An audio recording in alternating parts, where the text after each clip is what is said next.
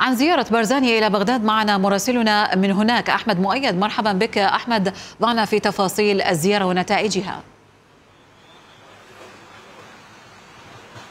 أهلا رويدة الزيارة اليوم الثاني بدأت ب آه، لقاء النائب رئيس البرلمان بالنيابة السيد محسن المندلاوي مع السيد مسعود برزاني. بعدها توجه السيد مسعود برزاني رئيس الحزب الديمقراطي الكردستاني إلى مقر إقامة الشيخ خميس الخنجر والتقى آه، به مع عدد من القيادات السنية الحاضرة إلى هذا الاجتماع.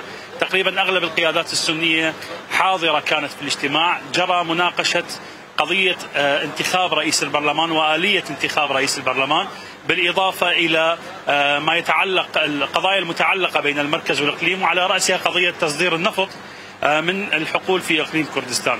السيد خميس الخنجر أشاد بدور الحزب الديمقراطي الكردستاني المتمثل بزعيمه السيد مسعود بارزاني ودوره في آه، يعني حلحلة كل الخلافات بين المركز والإقليم. آه، الزيارة توصف بأنها نتيجة عمل ناجح بين اللجان التي شكلت لمتابعة الملفات بين الحكومة المركزية وحكومة الإقليم.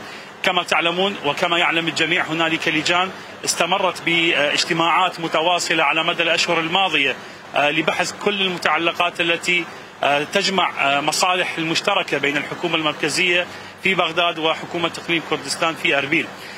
بعد هذا الاجتماع الذي سينتهي ربما يعني الآن هنالك يعني استعداد لمغادرة مقر إقامة الشيخ خميس الخنجر. الوفد الكردي سيغادر إلى لقاء السفير الإيراني وبعدها سيكون هنالك لقاء للسفير التركي في بغداد. آه، ومن ثم يعني الزيارة ستختتم اليوم بلقاء السيد مسعود برزاني مع آه، رئيس الجمهورية. هذا اللقاء سيكون آخر اللقاءات على جدول الأعمال. آه، الزيارة توصف بأنها مهمة جدا من قبل المراقبين لأنها ناقشت قضايا عديدة. حتى الانتخابات المقبلة تم التطرق إليها باجتماع الذي حصل يوم أمس في منزل السيد عمار الحكيم ولقاء الزعيم الكردي مسعود برزاني مع قادة الإطار التنسيقي كل القضايا السياسية العالقة وجود التحالف الدولي آه، قضايا النفط أي كل القضايا المطروحة على الساحة السياسية وعلى رأسها بالتأكيد آه، حسم آه، آلية انتخاب رئيس البرلمان.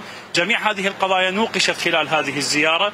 الزيارة كما ذكرت يعني وصفت بأنها هي نتيجة عمل مشترك استمر لأشهر.